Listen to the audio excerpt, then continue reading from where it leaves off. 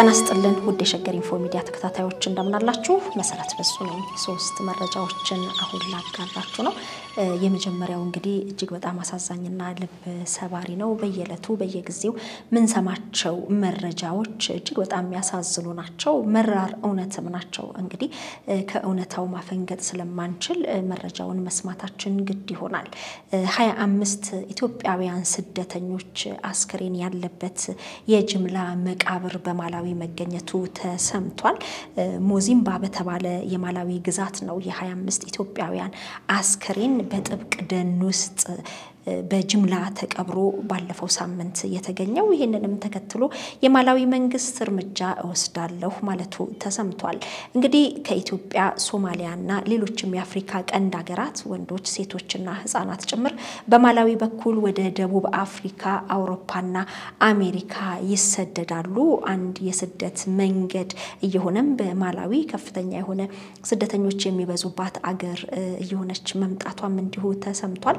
ይሁንና እንግዲህ የስደት ጉዟቸው እጅግ የከፋ ስቃይና እንግልት የበዛበት ባስ ሲልም ለሞት የሚዳርግ እንደሆነ ይታወቃል። ከሀገር ከወገን ርቀው ኑሮን እናሸንፋለን ብለው ወደዛ የተሰደዱ ኢትዮጵያውያን እጅግ በሚያሳዝን ሁኔታ የሞታቸው መንስኤ ምን እንደሆነ ባልታወቀበት እንግዲህ ሀያ አምስት ኢትዮጵያውያን በአንድ ላይ በጅምላ ተቀብረው ተገኝተዋል።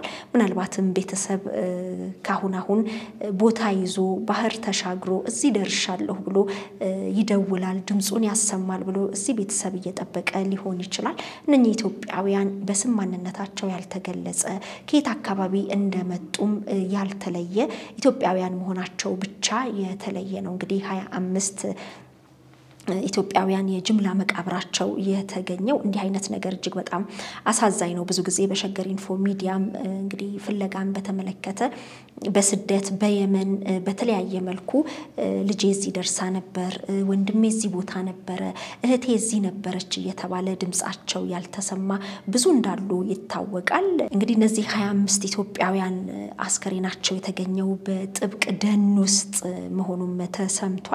የአካባቢው ወጣቶች ደን ውስጥ የሚያውቅ ሽታ እንዳለ መጠቆማቸውን ተከትሎ ነበር አስከሬናቸው በቁፋሮ የተገኘው። ይህ የጅምላ መቃብር ከተገኘ በኋላ በቅርብ ርቀት ሌላ የጅምላ መቃብር ተገኝቶ ተጨማሪ አራት አስከሬኖችን ፖሊስ ማውጣቱን ቢቢሲ ዘግቧል። የማላዊ አገር የውስጥ ደህንነት ሚኒስትር እንዲሁ እጅግ በጣም የሚያሳዝን ነው፣ አስከፍቶናል። መንግስታችን እንዲህ ያለ ድርጊትን በጽኑ ያወግዛል፣ ትክክል አይደለም ሲሉ ከቢቢሲ Focus on Africa ጋር ባደረጉት ቃለ ምልልስ ተናግረዋል። ፖሊስ ምርመራ እያደረገ እንደሆነና ከጉዳዩ ጋር በተያያዘ እጃቸው ያለበት ሰዎች በቁጥጥር ስር እንደሚውሉም እንዲሁ ገልጸዋል። ኢትዮጵያውያኑ በምን ምክንያት እንደሞቱ ለማወቅ የአስክሬን ምርመራ ይደረጋል መባሉም ተሰምቷል። እንግዲህ የጅምላ መቃብሩ በተገኘበት ጥብቅ ደን ርቆ በሚገኝ ሌላ ደግሞ ጥብቅ ደን ውስጥ ሰባ ሁለት ኢትዮጵያውያን ስደተኞች ተይዘው በፖሊስ ቁጥጥር ስር ውለዋል። እንግዲህ በጥብቅ ደን ውስጥ ስደተኞቹ እንዳሉት ለፖሊስ ጥቆማ ከደረሰው በኋላ ነው የተያዙትና ኢትዮጵያውያን ስደተኞችን በማዘዋወር የተጠረጠሩ አስር የማላዊ ዜጎችም ታስረዋል።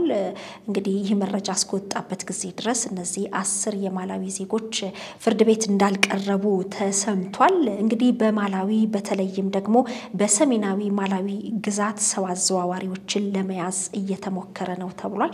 ምክንያቱም ቀደም ሲል እንዳነሳ ነው ከኢትዮጵያ ሶማሊያና ሌሎችም የአፍሪካ ቀንድ ሀገራት እንግዲህ ትንሽ ትልቅ ሳይሉ በማላዊ በኩል ወደ ደቡብ አፍሪካ ወደ አውሮፓና ወደ አሜሪካ ለመሻገር በህገወጥ የሰዎች ዝውውር ላይ የተሰማሩ የማላዊ ዜጎች ብዙ እንዳሉ ይነገራል። እንግዲህ ኢትዮጵያውያኑም ወይም ደግሞ ሌሎች የአፍሪካ ዜጎችም ያልፍልናል ብለው ኑሮን ለማሸነፍ ተስፋ አድርገው ሲወጡ ይህም የከፋ ነገር እንደሚገጥማቸው ቢያስቡም በጎውን በማለም እሻገረዋለሁ ብሎ በማሰብ ይህንን መንገድ እየደፈሩ ብዙ ኢትዮጵያውያን እንግዲህ በረሃ በልቷቸዋል፣ ባህር ወስዷቸዋል። እጅግ በጣም አሳዛኝ የሆኑ ብዙ ነገሮች ማንነታቸው በማይለይ ሁኔታ ብዙ ስቃይና እንግልት ደርሶባቸዋል። ይህንንም እንግዲህ የማላዊ መንግስት የህገ ወጥ የሰዎች ዝውውሩን ለማስቆም ክትትል እያደረግኩ ነው ብሏል። እንግዲህ አብዛኛዎቹ ማላዊ የሚገቡ ስደተኞች ከምስራቅ አፍሪካም የሚገቡ ናቸው ተብሏል። የኢትዮጵያ መንግስት የውጭ ጉዳይ ሚኒስቴር ቃል አቀባይ አምባሳደር መለስ አለም ኢትዮጵያ ከማላዊ መንግስት ጋር በመተባበር ስለ ክስተቱ ምርመራ እያደረገች ነው ሲሉ ለቢቢሲ ተናግረዋል። አምባሳደር መለስ በክስተቱ ሐዘን እንደተሰማቸው ገልጸው የምርመራውን ውጤት ለሕዝብ ይፋ እንደሚያደርጉም ተናግረዋል። አምባሳደር መለስ በክስተቱ ሐዘን እንደተሰማቸው ገልጸው የምርመራውን ውጤት ለሕዝብ ይፋ እንደሚያደርጉም ተናግረዋል። እንግዲህ እነዚህ ሀያ አምስት ኢትዮጵያውያን ስደተኞች በጅምላ መቃብር ላይ ነው የተገኙት። በምርመራ ውጤቱ ወይም ደግሞ እዛው ጥብቅ ደን ውስጥ የተገኙ ሰባ ሁለት ኢትዮጵያውያን ስደተኞችም በቁጥጥር ስር ውለዋል። ምናልባት ስለሞቱት ማንነት መረጃ ሊሆን የሚችለው ከነሱም እንደሚሆን ይጠበቃል። ለማንኛውም ግን በስደት ኑሮን እናሸንፋለን ብለው ባህር ተሻግረው የተሻለ ኑሮን ፍለጋ በሚያደርጉት ጉዞ ህይወታቸውን ላጡ ኢትዮጵያውያን እንግዲህ ነፍስ ይማር እንላለን።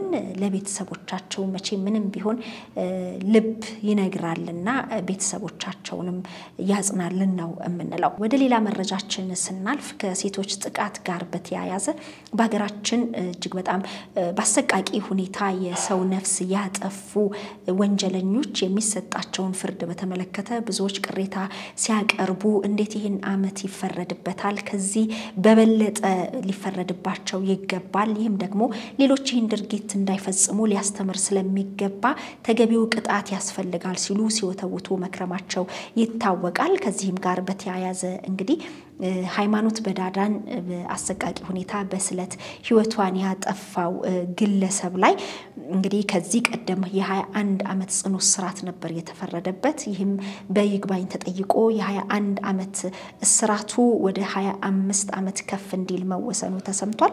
እንግዲህ ሃይማኖት በዳዳን በመግደል ወንጀል የ21 ዓመት እስራት ተፈርዶበት የነበረው ደግነት ወርቁ ይባላል። የተጣለበት ቅጣትን በማሻሻል በ25 ዓመት ጽኑ እስራት እንዲቀጣ የወሰነው የፌዴራል ጠቅላይ ፍርድ ቤት ነው። አቃቢ ሕግ በጥቁር አንበሳ ሆስፒታል የማስተርስ ዲግሪ ተማሪ በነበረችው ሃይማኖት በዳዳ ላይ ከባድ የውንብድና ወንጀል ፈጽሞ ህይወቷ እንዲያልፍ በማድረግ የ21 ዓመት እስር ተፈርዶበት የነበረው ደግነት ወርቁ ላይ በተላለፈው የቅጣት ውሳኔ ቅር በመሰኘት ባቀረበው ይግባኝ መሰረት ነው ቅጣቱ የተሻሻለው ተብሏል። ተከሳሽ ግንቦት 17 2012 ዓ ም በግምት 9 ሰዓት አካባቢ ላይ ልደታ ክፍለ ከተማ በሚገኘው ጥቁር አንበሳ ሆስፒታል ግቢ ውስጥ የፋርማሲ ትምህርት ቤት አራተኛ ፎቅ ቤተ ሙከራ ውስጥ የሙከራ ስራዋን እየሰራች የነበረችው ሟች ሃይማኖት በዳዳ የምትሰራበት የምርምር ክፍል ውስጥ በመግባት በቢላዋ አንገቷን በማረድና ደረቷን በመውጋት ህይወቷ እንዲያልፍ ካደረገ በኋላ ስልክና ላፕቶፕ ጨምሮ ንብረቷን ይዞ ተሰውሮ ነበር ይላል። እንግዲህ በፍርድ ቤት የቀረበው የክሱ ሁኔታ። አቃቢ ህግ የወንጀል ክስ አንቀጽ 671 ስር የተመለከተውን በመተላለፍ በፈጸመው ከባድ የውንብድና ወንጀል ክስ አቅርቦበት ወንጀሉን ስለመፈጸሙ በማስረጃ ማረጋገጡ የፌዴራል ከፍተኛ ፍርድ ቤት ልደታ ወንጀል ችሎት ተከሳሽን ጥፋተኛ በማለት የቅጣት ማቅለያና ማክበጃ አስተያየቶችን በመቀበል ነበር ውሳኔውን ያስተላለፈው። ይሁንና እንደ አቃቢ ህግ ቅሬታ በተከሳሽ በኩል ከቀረቡ የቅጣት ማቅለያ ሀሳቦች መካከል ተከሳሽ ወንጀል እስከፈጸመበት ጊዜ ድረስ የዘወትር ጸባዩ መልካም የነበረ መሆኑን እንዲሁም በ14 ቀን የኤች አይቪን የሚያድን መድኃኒት አግኝቻለሁ በማለት ያቀረበውን የቅጣት አስተያየት በልዩ ቅጣት ማቅለያ ምክንያትነት ተይዞ እንደነበር ተነግሯል። ይሁንና ተከሳሽ ማህበረሰቡን የሚጠቅም ልዩ የምርምር ስራ ስለመስራቱ በማስረጃ ባልተረጋገጠበት ሁኔታ ያቀረበው የድጋፍ ደብዳቤ ስለማግኘቱ በማስረጃነት ተይዞ ቅጣቱ ከእርከን 37 ወደ እርከን 36 ዝቅ በማድረግ የ21 ዓመት እስራት ቅጣት መወሰኑ አግባብ አይደለም በማለት የተያዘው የቅጣት ማቅለያ ሀሳብ ተሰርዞ ተከሳሽ በቅጣት አወሳሰን መመሪያ መሰረት እርከን 37 ስር አስተማሪ ቅጣት ይጣልበት በማለት ይግባኝ አቅርቧል። በዚሁም መሰረት የፌዴራል ጠቅላይ ፍርድ ቤት ተከሳሽ የኤች አይቪ መድኃኒት አግኝቷል በማለት ማስረጃው ባልተረጋገጠበት ሁኔታ በቅጣት ማቅለያነት መያዙ አግባብ አይደለም በማለት የከፍተኛ ፍርድ ቤት ውሳኔን በማሻሻል ቅጣቱን ከእርከን 36 ወደ እርከን 37 ከፍ በማድረግ ተከሳሹን በ25 ዓመት ጽኑ እስራት እንዲቀጣ ሲል መወሰኑን የፍትህ ሚኒስቴር ይፋ አድርጓል። እንግዲህ ይህ በሃይማኖት በዳዳ ላይ የግድያ ወንጀል የፈጸመው ነው ከ21 ዓመት ወደ 25 ዓመት ቅጣቱ ከፍ እንዲል የተደረገው ብዙዎች 21 ዓመት ተገቢ አይደለም ሲሉ ነበር። በሌላ መረጃ ደግሞ ተማሪ ጽጌሬዳ ግርማይን በስለት ወቅቶ የገደለው ተማሪም በቅጣት ማሻሻያ ተደርጎ ተጨማሪ ውሳኔ ተላልፎበታል። እንግዲህ ተማሪ ጽጌሬዳ ግርማይ በአርባ ምንጭ ዩኒቨርሲቲ ተማሪ እንደነበረች ይታወቃል። እንግዲህ ተከሳሽ ብሩክ በላይነህ ያቀረበውን የፍቅር ጥያቄ አልተቀበለችም፣ ሌላ ፍቅረኛ ይዛ ልትወጣ ነው በሚል በስሜት ተነሳስቶ ጽጌሬዳ ግርማይን አካሏ ላይ ዘጠኝ ጊዜ በስለት ወጋግቶ በአሰቃቂ ሁኔታ ሕይወቷን እንዳጠፋ የወንጀል ዝርዝሩ ያስረዳል። እንግዲህ በቀድሞ አጠራር የጋሞ ዞን አቃቢ ሕግ የመሰረተውን የወንጀል ክስ ተመልክቶ ግራና ቀኙን ሲያከራክር የቆየውን የጋሞ አካባቢ ከፍተኛ ፍርድ ቤት ቀደም ሲል በቀን 19 10 2014 ዓ ም በዋለው ችሎት በተከሳሽ ላይ የ17 ዓመት ጽኑ እስራት ቅጣት ወስኖ እንደነበር ይታወሳል። ይሁንና ቅጣቱ ተገቢ አይደለም በሚል በይግባኝ ሲመለከተው የቆየው ከፍተኛ ፍርድ ቤት ከተፈጸመው ወንጀል አኳያ ተገቢነት ያለው ሆኖ ባለመገኘቱ የስር ፍርድ ቤቱን ውሳኔ አሻሽሎ ሰሞኑን በዋለው ችሎት በተከሳሽ ላይ የ22 ዓመት ጽኑ እስራት ማስተላለፉ ተሰምቷል። እነዚህ መረጃዎች እንግዲህ በተለይ አሁን አሁን እየተበራከተ የመጣውን በአሰቃቂ ሁኔታ የሰው ሕይወት ማጥፋቱን እንዲህ አይነት የቅጣት ውሳኔዎች ሲተላለፉ ሕይወትን ማጥፋት በሰው ላይ እንዲህ አይነት ድርጊት መፈጸም እንግዲህ በሕግ ምን ያህል እስር እንደሚፈረድበትም ማሳያ ሊሆን ስለሚችል የቅጣት ማሻሻያው ተገቢ ነው ሲሉ ብዙዎች አድንቀውታል። እንዲህ አይነት በስሜት ተነሳስቶ ለሚፈጸሙ ወንጀሎችም ሌሎች ቆም ብለው እንዲያስቡ ያደርጋልም ተብሎ ይታሰባል። ቅጣቱ ለሌሎች አስተማሪም ይሆናል ተብሎም ይታመናል።